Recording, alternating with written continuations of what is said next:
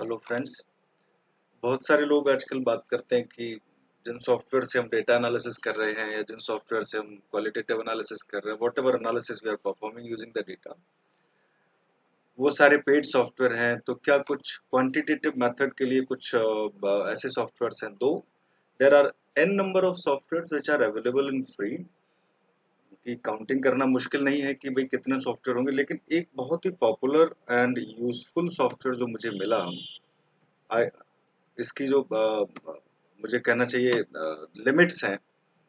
मुझे नहीं लगता कि इसको यूज़ करने के बाद आपको किसी दूसरे स्टैटिस्टिकल सॉफ्टवेयर की यूज़ ज़रूरत पड़ेगी। The name of the software is jamovi so कहाँ से डाउनलोड करना है? सबसे पहले मैं गूगल स्कॉलर पर जाता हूँ वहाँ जमोवी जैसे मैं सर्च करता हूँ टाइप करता हूँ। फ़र्स्ट वेबसाइट आती है जमोवी ये इनकी वेबसाइट है। ये कहते हैं कि भाई देर आर थ्री रीजन जिनकी वजह से इनके सॉफ्टवेयर को यूज़ करना चाहिए। मैं भी इनकी बात से सहमत हूँ। इनकी बात मुझे जस्टिफिएबल लगती है। एक तो स्टैट्स मेड सिंपल ये जब हम एनालिसिस कर रहे होंगे, तब आपको समझ में आएगा कि कैसे, क्यों ये इसको सिंपल कह रहे हैं। दूसरा कह रहे हैं आर इंटीग्रेशन से ये बनता है सॉफ्टवेयर भाई आर इंटीग्रेशन से बनने से हमको क्या बेनिफिट है? तो भाई हम लोग ये बात कर सकते हैं कि जब भी हम आर इंटीग्रेशन की बात करते हैं ना तो R is a language which is available in free कोई भी इससे आपके लिए पैसे नहीं माँगता। तो जब फ्री वाली लैंग्वेज को आप यूज़ करेंगे तो आपके लिए फ्री है। आप अपने हिसाब से सॉफ्टवेयर डेवलप कर सकते हो, आप अपने हिसाब से उसे आगे बढ़ा सकते हो। और तीसरी और इम्पोर्टेंट बात फ्री सॉफ्टवेयर है ओपन सॉफ्टवेयर है। ऐसा नहीं हो सकता कि भाई मैं स्टूडेंट हूँ तो मेरे लिए इसके अलग एप्लीकेशन हैं अकेडमिशियंस के लिए इसके अलग एप्लीकेशन है इंडस्ट्री के लिए इंडस्ट्री वाले लोगों को अलग तरह से यूज़ करना नहीं, ऐसा कोई एप्लीकेशन नहीं। इनका कहना है भाई ये कोई भी यूज़ करेगा फ्री है और ओपन है, कोई भी यूज़ करे, इसको इसी तरह से यूज़ कर सकता है। तो ये अपने वेबसाइट पे है ऑलरेडी यहाँ फीचर्स की बात हम नहीं करेंगे पहले अभी, हम पहले, सबसे पहले देख लेते हैं डाउनलोड कैसे करना है। तो जैसे आप डाउनलोड पर क्लिक करते हो तो इनका एक पुराना वर्जन है 1.1.9 जो सॉलिड वर्जन है। अगर आप एक्सपर्ट यूज़र नहीं हो तो आप इसको डाउनलोड करें। हालाँकि आज हम जिसकी बात कर रहे हैं, वो इनका लेटेस्ट वर्जन है 1.2.22 हम इसको डाउनलोड करेंगे। ये इनका लेटेस्ट फ़ंक्शन है latest operating system not operating system इसका इनका लेटेस्ट सॉफ्टवेयर है जिस पे ये काम करते हैं। ये इन्होंने पूरा इसका एक्सप्लेनेशन भी लिखा हुआ है कि भाई ये विंडोज़ ऑपरेटिंग सिस्टम पे काम करने के लिए कितने वर्जन अभी बना रहे हैं, कितने पहले से हैं मैक ओएस वाले कितने हैं क्रोम ओएस पे काम करने वाले सॉफ्टवेयर के वर्जन क्या वो सारा डिटेल्स इन्होंने रिलीज़ नोट्स भी दे रखे तो फ़िलहाल आप जब इस पर क्लिक करोगे तो 1.2.22 वर्जन डाउनलोड होना शुरू हो जाएगा। ये देखिए 226 एमबी की फ़ाइल है। बहुत बड़ा सॉफ्टवेयर नहीं है।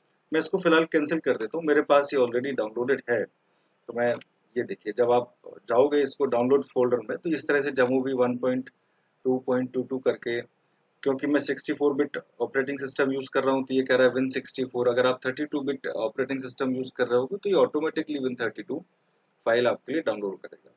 इसको डबल क्लिक करके आपने इंस्टॉल कर लेना है। सिंपल बाकी सारे सॉफ्टवेयर की तरह next accept next agree and finish तो जब ये इंस्टॉल हो जाएगा आपके पास तो आप इसे देखिए, इस तरह से कुछ सॉफ्टवेयर आपके स्टार्ट मेन्यू में या डेस्कटॉप आइकन जो भी आप उसके लिए फंक्शनैलिटी बनाएँगे तो इस तरह से ये सॉफ्टवेयर आपके पास ओपन होगा।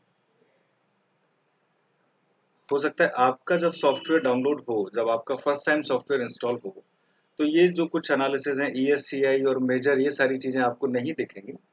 सारे बेसिक फ़ंक्शन इसके बेसिक मॉड्यूल में इन्वॉल्व रहते हैं। एडवांस फ़ंक्शन अगर आप यूज़ करने चाहते हो आपको कौन सी और एप्लीकेशन चाहिए तो ये सबसे अच्छी बात मुझे इसकी लगती है जिसकी वजह से इसकी साइज़ छोटी है मेरी कंप्यूटर की स्पीड मुझे परेशान नहीं करती। देखिए एक बहुत अच्छा कंपैरिजन मैं आपको दिखाता हूँ। यहाँ देखिए जहाँ मैं एड एंड रिमूव प्रोग्राम्स में अगर मैं हूँ तो जमूवी का फ़ाइल साइज़ जो है ये नहीं दिखा रहा है। दो सौ छियासठ 266 MB का इसका सेटअप था तो मैक्सिमम 340 350 MB का ये डाउनलोड होता है। इंस्टॉलेशन हो जाता है। लेकिन आप IBM SPSS को देखिए यहाँ पे। सेटअप तो कुछ था, कुछ जो मैंने जब इंस्टॉल किया था 25 वर्जन जो है, जब मैंने इंस्टॉल किया था तो कुछ 1.2 जीबी के आसपास कुछ था। और अब ये सारे अपडेट्स करते हुए, क्योंकि मेरे पास ऑफिशियल वर्जन है इसका तो ये सारे अपडेट करते हुए two point one one GB का सॉफ्टवेयर है। ओपन होने में भी टाइम लगाता है। तीन चार अलग अलग विंडो ओपन होती हैं। तो इन, इसलिए मैं इस ओपन ऑपरेटिंग सिस्टम को, इस ओपन डेटा एनालिसिस सॉफ्टवेयर को यूज़ करना पसंद करता हूँ। अब यहाँ और इसमें मुझे जो SPSS में बेटर लगता है SPSS में जो डेटा व्यू है, वो अलग है। आउटपुट व्यू है, वो अलग है। और इसी डेटा व्यू के पीछे बैकएंड जिसको हम कहते हैं वेरिएबल व्यू जिसको हम कहते हैं, वो भी अलग है। लेकिन यहाँ पे तीनों तीनों चारों चीज़ें साथ में रहती है आपके देखिए। मैं अगर यहाँ पे क्लिक कर देता हूँ डबल क्लिक तो जो वेरिएबल व्यू है, वो भी ऊपर ओपन हो जाता है। है ना? ये देखिए ए पे मैं क्लिक करूँगा तो क्या आप ए को रीनेम करना चाहते हैं? जस्ट फॉर एग्ज़ाम्पल मैं आपको दिखाता हूँ कि भाई ए का नाम है नेम और नेम को आप नॉमिनल स्केल ऑर्डिनल कंटिन्यूस किस तरह का डेटा रखना चाहते हो? एसपीएसएस की तरह इसमें नॉमिनल ऑर्डिनल स्केल है, और इसके अलावा एक और है आईडी कि भाई, क्या ये इन सब पे आईडी नंबर की बात कर रहे हैं? वो भी कर सकते हो। फ़िलहाल नेम की हमको ज़रूरत नहीं होती एनालिसिस करते समय तो मैंने कहा कि ये लोगों की एज है। अब भाई एज को आप क्या बनाना चाहते हो? अगर मेरे पास क्लासिफिकेशन में है ग्रुप्स में तो नॉमिनल बना दूँगा। कंटिन्यूशन ग्रुप में रख लेता हूँ। अब देखिए, मैंने यहाँ चेंज किया, यहाँ इसका ऑटोमेटिकली आइकन चेंज हो गया। इंटीजर है डेसिमल है टेक्स्ट है तो आप बता सकते हो भाई एज डेसिमल में हो सकती है। भाई, कोई कह सकता है कि मैं 22.5 इयर्स का हूँ राइट क्या इसमें मिसिंग वैल्यूज़ होंगी? अगर मिसिंग वैल्यूज़ होंगी तो उनको कैसे ऐड किया जाएगा? इसकी अभी हम बात नहीं करते हैं। ठीक है? एज के लिए अभी लेवल्स की बात नहीं कर रहे। फिर देखिए बी को अगर मुझे रीनेम करना है तो मुझे बस यहाँ बी पे क्लिक करना है, ये बी का नाम आ गया। मुझे बी का नाम रख देना है। जैसे जस्ट फॉर एग्ज़ाम्पल मैं कस्टमर सेटिस्फेक्शन की बात कर रहा हूँ। कस्टमर अंडर स्कोर सेटिस्फेक्शन भाई, ये नॉमिनल तो नहीं हो सकता। यहाँ पे मैं इसको कंटिन्यूस कर देता हूँ। यहाँ पे मैं उस पूरे क्वेश्चन को पेस्ट कर सकता हूँ कि what do you think what do you think your customer satisfaction is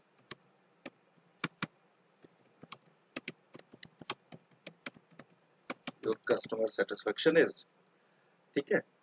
ये इंटीजर में भी रख सकता हूँ डेसिमल में भी। इंटीजर में रखें ऑटो में तो ज़्यादा बेनिफिट है। अभी मिसिंग वैल्यूज़ की हम बात नहीं कर रहे हैं।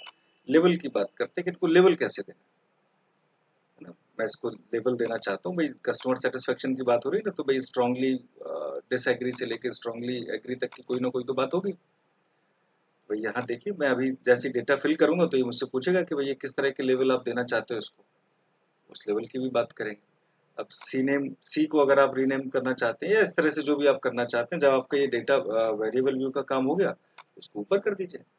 से फॉर एग्ज़ाम्पल एक जिसका मैंने सैंपल ले रखा है, उसकी एज है ट्वेंटी किसी की ट्वेंटी वन, किसी की ट्वेंटी थ्री, मैं कॉलेज स्टूडेंट्स की बात कर रहा हूँ तो इतने ही मुझे मिलता है डेटा कस्टमर सेटिस्फेक्शन किसी का three four two four three five three इस तरह का मुझे